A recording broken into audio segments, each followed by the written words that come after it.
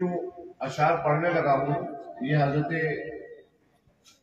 سیدنا شاہ حمزہ، یہ ہمارے خاندان کے مورخ بھی ہیں اور بہت بڑے طبیب حاضر اور جن کے نام سے خانقاہ برکاتیہ پانچ سو کلومیٹر کے ریڈیس میں جانی جاتی ہے یعنی ابو الفضل آل احمد اچھے میاں صاحب، یہ ان کے والد بھی ہیں۔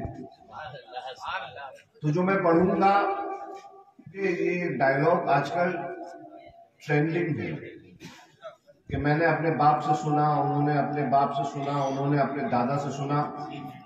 تو الحمدللہ فقیر فقیر برکاتی نے جو اپنے باپ سے سنا اور انہوں نے جو اپنے باپ سے سنا، الحمدللہ ہم نے جو اشعار اپنے بزرگوں کا مسلک اور طریقہ جو اپنے بزرگوں سے سنا ہم اسی کو نقل کرتے ہیں، ہم اس کے اندر ادھر ادھر سے گٹ جوڑ نہیں کرتے۔ تو سید شاہ حملہ فرماتے ہیں، غوث اعظم بمنے بے سرو ساما مددے یہ استغاثہ کہلاتا ہے۔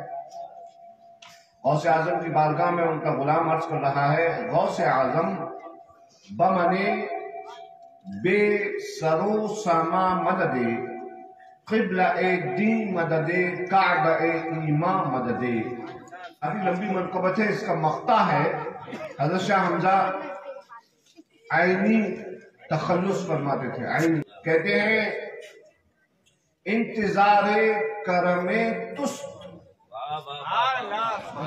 منے عینی دا اے خدا جو، او خدا بی او خدا دا مددے پھر اس کے بعد ایک شعر جو میں نے اپنے دادا اپنے والد سے سنا، انہوں نے اپنے والد سے سنا، انہوں نے اپنے داداؤں سے اوپر تک سنا۔